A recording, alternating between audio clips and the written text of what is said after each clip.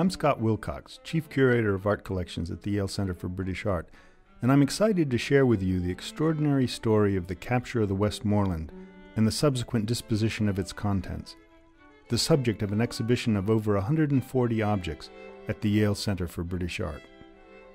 The year is 1779. Britain and France are at war.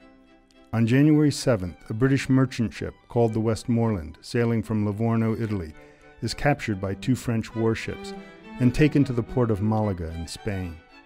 The Westmorland carries a valuable and varied cargo of olive oil, anchovies, wheels of Parmesan cheese, and bales of silk. It also carries paintings, sculpture, books, and souvenirs being sent home by British grand tourists. For many elite young Englishmen, the Grand Tour is the capstone of a classical education. From several months to several years of travel on the European continent, it offers them an opportunity to acquire taste, polish, and sophistication, as well as valuable works of art and mementos of their time abroad. Once the Westmorland arrives in Spain, it is declared a prize of war. The contents are sold to a Spanish trading company, which has no trouble disposing of the food and bales of silk, but has no idea what to do with the books, paintings, and sculpture. These sit in a warehouse in Malaga for four years until they come to the attention of King Carlos III. Carlos buys the lot and deposits the works of art in the Real Academia de Bellas Artes de San Fernando in Madrid, where they disappear into the collections and are forgotten for more than 200 years.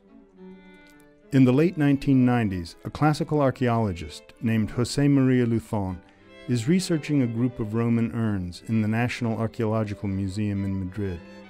His investigations lead him to the library of the Real Academia and to inventories of the contents of a ship that was captured in the 18th century.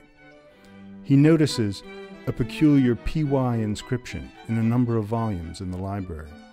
Further digging reveals the name of the ship, the Westmorland, and the meaning of PY, Presa Inglesa, the English prize. Little by little, the story of the Westmorland comes into focus.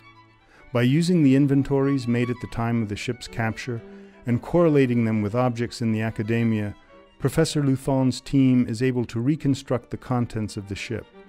Even more amazingly, they're able to establish the identity of the individual owners. One of them is this man, Francis Bassett, heir to a tin mining fortune in Cornwall, England. This elegant portrait of Bassett was painted during his grand tour in Rome by Pompeo Batoni. It was on board the Westmorland, along with one of the most exciting discoveries, a suite of six watercolors by the young English painter John Robert Cozens, purchased by Bassett. Cozens was one of the most significant British artists of the 18th century, and here we have previously unknown evidence of his style at the time of his first visit to Italy in 1776. Bassett was one of two tourists who were sending back complete sets of the etchings of Giovanni Battista Piranesi. In gratitude, Piranesi dedicated one of the plates of his publication to Bassett. He dedicated another plate to Bassett's tutor, William Sands, who was probably responsible for introducing Bassett to Piranesi. One of the interesting aspects of the Westmorland material is the light that it sheds on the role of tutors in the Grand Tour. A significant number of works being sent to England on the Westmorland were copies of old master paintings. The importance of the copy in the collecting culture of the Grand Tour is another focus of the exhibition.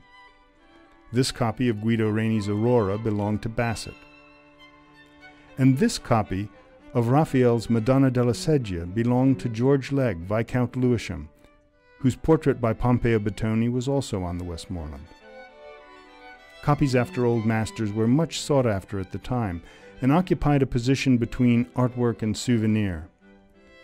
Other objects on the Westmorland are more purely souvenirs, such as this view of the Arch of Titus and this fan with a view of St. Peter's Basilica.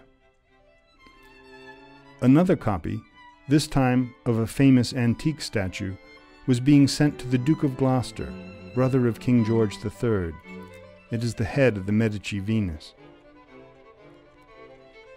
In addition to works of art, the Westmorland carried lavish books of prints to adorn a personal library back home. It also carried the guidebooks, dictionaries, and grammars used while traveling.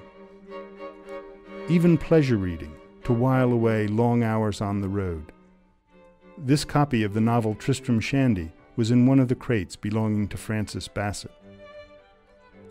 Through these and other fascinating objects in the exhibition, the Westmorland offers a time capsule from the 18th century, providing us with an unprecedented window into the important cultural phenomenon of the Grand Tour.